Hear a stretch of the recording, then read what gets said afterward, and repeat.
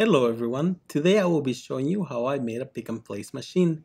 Now this video will be part 1 of 2, in which I will show you the build part, as well as most of the components and where to get them. A little disclaimer, as this is not a professional industrial machine, it's just something I made to automate a simple task. I'm also not a professional YouTuber, so please forgive the quality of the video. With that said, let me explain what the machine does and then we will get into the actual build. The end goal of the machine is to make a product box like the ones you see here for something I'm working on. I could have just ordered a few dozen of these, but where's the fun in that? These are made of chipboard or thick cardboard and a printed cover that wraps around it. First I need to lay down an adhesive material in which I will place the board pieces, but as I will demonstrate here very dramatically of course, there's room for human error Later in the series, I will design the part of the machine which fold the edges completing the wrap and forming the basic shape of a box. Here I've used some scrap material just to show you the general idea of what I'm trying to automate. The challenge of making these is aligning all the components by hand, as well as being a little tedious if you need to make many of these. So I decided to automate the process because, well, why not? Once the cover is wrapped, I have half of the box made. Throughout the video, I will give you the name of most of the components, as well as some Amazon links to where you can purchase them if you are in Canada or the US. I'm not sponsored by any of the products listed, but they are affiliate links, so I get a few cents here and there if you do follow the link and purchase from Amazon. I will begin with 2020 aluminum extrusion, as you can see, it's called 2020 because it measures 20 millimeters by 20 millimeters. This was a pack of 10 39 inch pieces I got from Amazon. I have done a very basic 3D model of the machine, which will hopefully help me illustrate better the structure of it. Here you can see the main skeleton was built using the entire length of the 39 inch for the top part, which is just a square along with reinforced middle links in which later I will place the pneumatic cylinder. After the top square, I made some 12 inch legs which were joined by a bottom frame. And that is basically it for the frame. I'll show you some of the basic joints I use, but I won't go through every single one. They're pretty much all the same. For the joints, I used a few components such as these sliding nuts to secure the corner braces. Here I'm using aluminum profile T-sliding nuts, which as the name suggests, just slide into the channels of the aluminum extrusion. But there are two types which is very important because they behave very differently.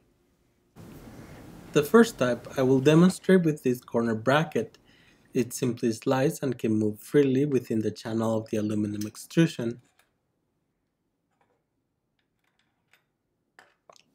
Once the screw is tightened, it is fairly secure and it's very rigid.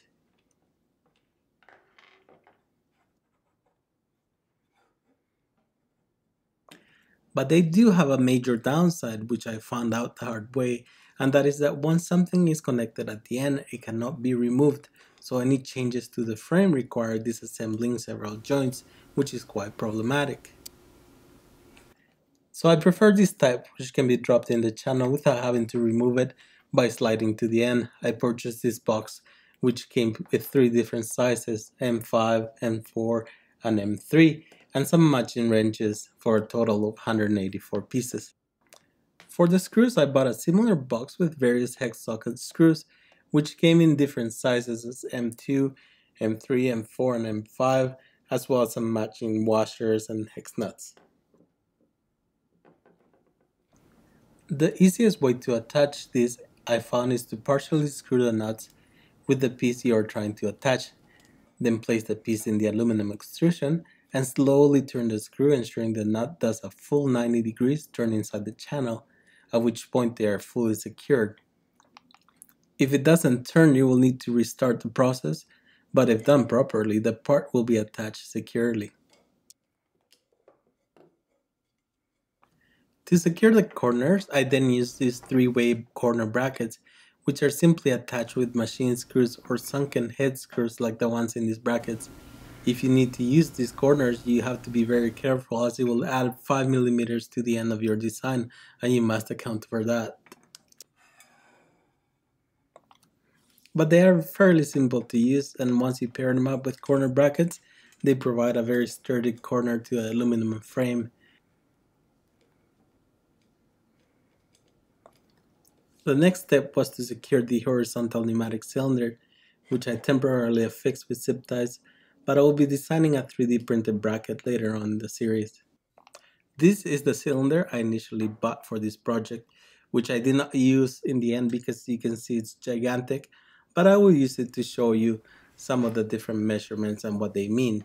First, the bore size, which in this case is two and a half inches. Then is the stroke, which is the length of the full extended piston. In this case, it's 18 inches. And then very importantly is the air fitting port size, which will need to determine the size of hose fitting needed for the airlines. The cylinder I used for this project is an 18 inch cylinder with a one and a quarter inch bore and a total stroke of 18 inches. The air fitting is one eighth of an inch. To connect the fittings to the cylinder, I'll be using some Teflon tape just to prevent some air leaks. This fitting matches the 1 8 port in the cylinder. Then it simply screws to one of the ports and is tightened with a wrench. I'll do the same for the back port as this is a dual action piston and it does need two ports for two hoses.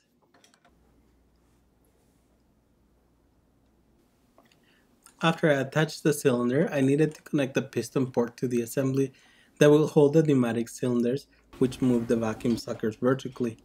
I wasn't 100% sure how I was going to do this, but I found these pillow block bearings and ordered one of them that has a 10mm bore which matches the 10mm on the piston end. I can use this to secure the threaded end of the piston. The reason why these are called pillow blocks is because they have an internal mechanism that moves freely as you can see here. I will use this to my advantage as it will prevent small imperfections in my alignment from tearing the machine apart.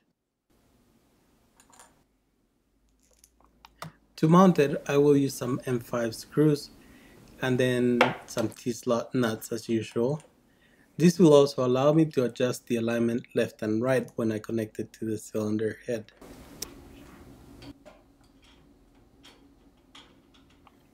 To connect it to the end of the piston thread, I simply tightened the threaded end nut, as well as two small screws found on the pillow block that prevent it from sliding out.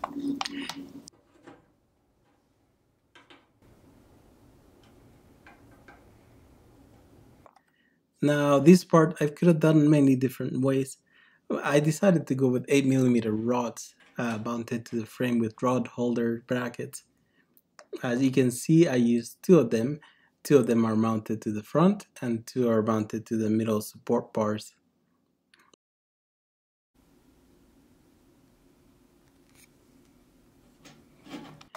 The carriage will sit directly on top of it and it's attached with linear motion ball bearings uh, which simply slide into the 8mm rod.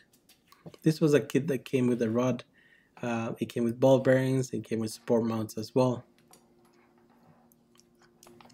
To mount to the frame, I use these brackets, uh, which I tighten with the provided screw. These linear rods come in different diameters, but I went with 8 millimeters just because it was convenient to buy those. I then turned the entire assembly upside down just to simplify my life and give it easier access to the bottom screws which will connect to the bearings to the aluminum extrusion using self-torquing nuts once again. I only used two out of the four bearing screw ports. Uh, that should secure it well enough. And now to ensure the rails are completely parallel to each other, I slide the carriage to the end and if you see a bounce like this or notice some resistance, then the rods are not completely parallel. They need to be adjusted until the mechanism moves freely to the end of the rods without bounce or without resistance. Once I adjust it, it goes back to the end without bounce and without resistance. I then needed to do the same process for the other side to make sure that the other side is also parallel and it doesn't have any resistance to the carriage. Now that this carriage is secure, I need to attach it to the end of the rod assembly I made earlier with a random metal bracket I found. um, using M5 screws and the self-locking nuts.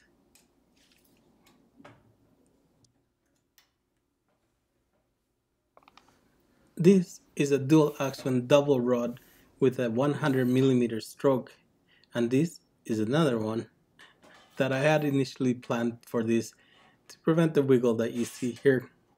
But unfortunately I broke the M5 fitting while trying to tighten it. I did it too much and it broke. Lesson learned. So for now I will only use one of them until I can take the broken part out of the fitting. To do that, I used two quick connect fittings which have an M5 screw mount and a quarter inch or 6 millimeter quick hose connection.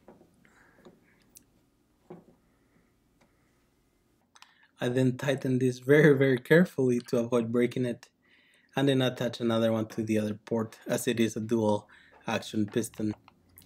To attach the cylinder to the aluminum frame, I will use M4 screws and partly attach the nuts to the screws to make installing easier.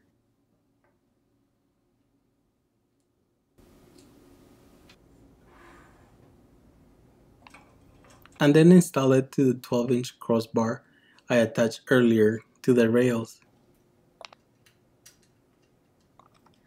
And this completes the horizontal movement mechanism with the vertical double rods, which will lower and raise the vacuum sucker cups. They will be attached to the 39 inch bar that will be secured to the double rod end. And now for the vacuum sucker cups. I needed to figure out how to mount them and I had initially thought of 3D printing a bracket but I wanted something made out of metal that I could attach somehow to the rail. And then I remember I had used some of these rail guides earlier but these were 8 millimeters.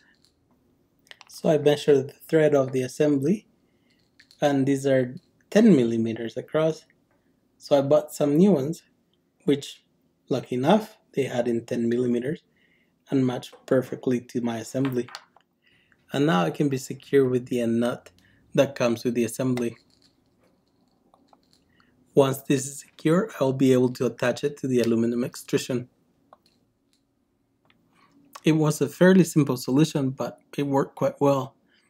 And I need that because I need 8 of them in the 39 inch assembly here. I partially attached the nuts to each assembly and place each of them 10 inches apart. Once tightened, these were very sturdy and should handle the downward pressure with their built-in suspension mechanism.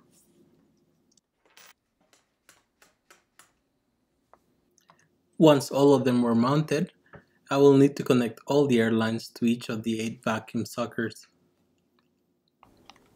For the tubing, I'll be using quarter inch thickness to match all my fittings. I used line splitters which I got from a kit of fittings that included all types of connectors and they are extremely simple to use. These are quick connect which you just simply push in and they self-lock. They are surprisingly airtight once they are attached. And then to release the hose, you just push on the blue cap while pulling the hose and they come apart. Fairly simple. Now that I have all 8 mounted and connected to the air splitters, I needed to mount the lowering bar, which I attached to two screws and mounted on the double piston pneumatic cylinders. This is where it would have been nice to have the other one. Um, it would have prevented this wiggle on the bar, but uh, I'll make it work with one.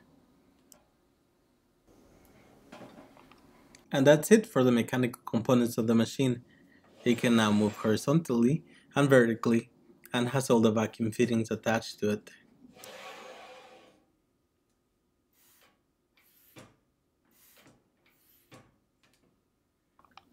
I will just finish off connecting all of the hoses by splitting them once again and attaching them with a simple screw to the frame.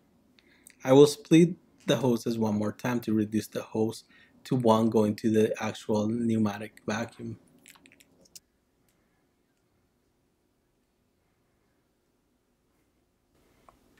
I then attach all the hoses to the splitters, which will split it once more, giving me only one line going back to the pneumatic valve. I also attach the hoses to the double rod. But for now, this is all the progress I'll leave you with. And on the next video, I will finish the electronics, test it with a simple push button, and then automate it with an Arduino. I'll try installing things such as ultrasonic distance sensors. Also, limit switches will be added, which will tell the Arduino when to lower the carriage when it hits the end of the rails. I will go into detail on how the electronics control air valve manifold work, how to control it with Arduinos, the pneumatic vacuums for the suckers and the relay boards, and also how the air valve controls the speed of the mechanism. I'll also install some lasers because, well, they're cool and I like lasers, so why not? And that's it guys for part 1 of 2. I thank you so much if you made it this far, and I hope you learned a thing or two. I hope you tune back for episode 2. Until then, I wish you all a wonderful day. Take care.